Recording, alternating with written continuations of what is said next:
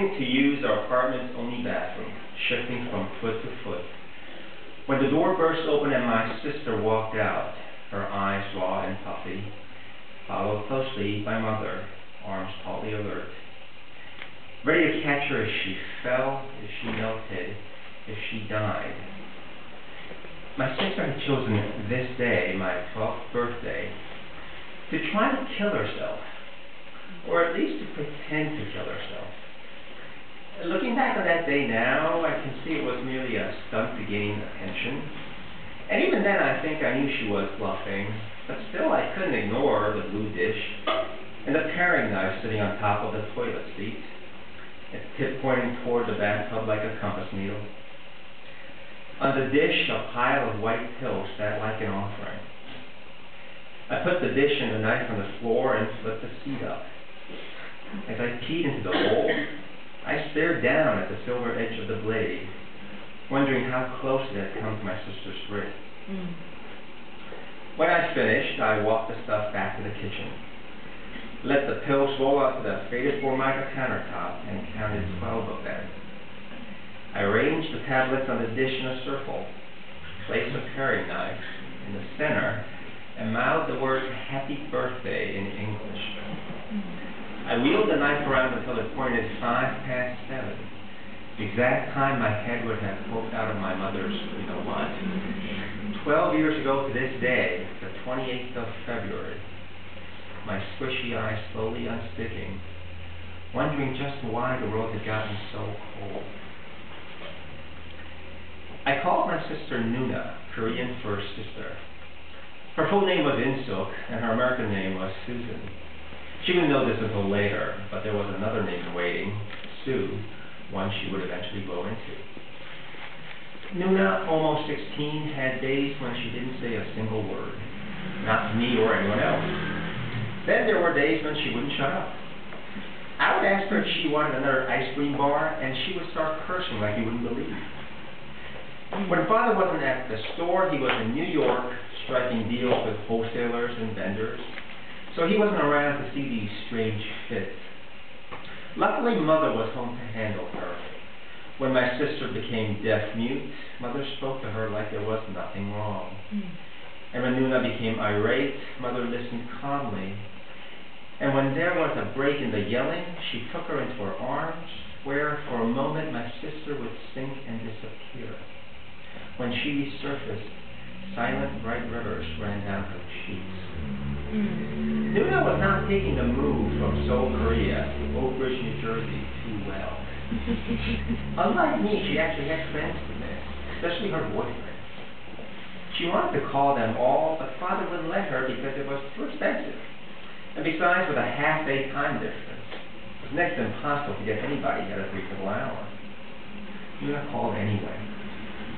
I only called four times, she said to father when the phone bill arrived. Three hundred dollars? He screamed. The first time I heard him scream. Before then, he was nothing but nice to us. Where am I going to get three hundred dollars? It's the least you can do, Nuna said. Her voice stood at the edge of a cliff. Father had no rebuttal. He looked hurt. He looked tired. That was the first month, the first phase of Nuna's loneliness, soon to swell heavy and round like a full moon. The very next day after their fight, father came home with the biggest tape recorder I had ever seen. Here, he said, showing Nuna how to use it. It was the kind that you'd find in high school language labs. Mm. The black rectangular monsters with one giant woofer on top. The buttons were so big you almost had to use two fingers. When father pressed eject, the lid sprang up like a catapult. Nuna put the tape recorder to work immediately. She spoke intensely, her long black hair falling around the unit like a cape, her lips floating over the tiny triple slat on the built-in microphone. The first day she sat in her room and made five 90-minute tapes in a row. Seven and a half hours of her fragile voice laid out on a thin magnetic ribbon. How could anybody have that much to say? It was a miracle she was able to keep the phone bill under a thousand dollars.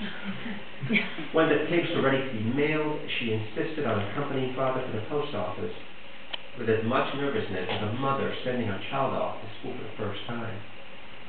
The reply didn't come for three long weeks. When Nuna saw the package from Korea with her name on it, she ripped into it with animal ferocity. There was a quick scribble on an index card and a tape that looked too professional to be an amateur recording. Mm. The note read, Sorry you can't be here. This band is really good. We miss you. My, my sister listened to the tape once, slipped it back in its case, and buried it deep in her drawer. She wasn't eating well, and she was losing weight. She chewed her food slowly and carefully, as if her mouth were full of broken glass. Her eyes were puffy or red, they were black and sleepless. Mother was worried.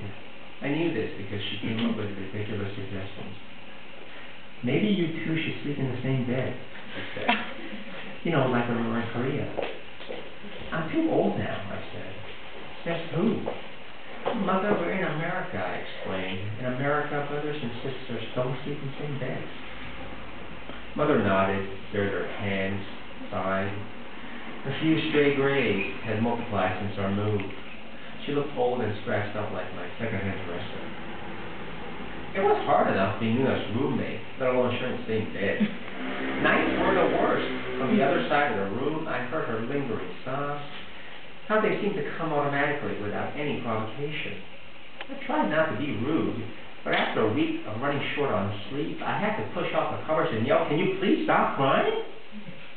She stopped. Mm. I couldn't believe it worked just like that. That's better, I said half jokingly. But no response was forthcoming.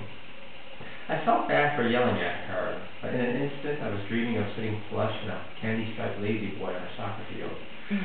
munching on barbecue potato chips, my new favorite food. The next day was my 12th birthday, when she did the night on a pill thing. So suffice it to say, I was not pleased with myself. Mm. Thank you.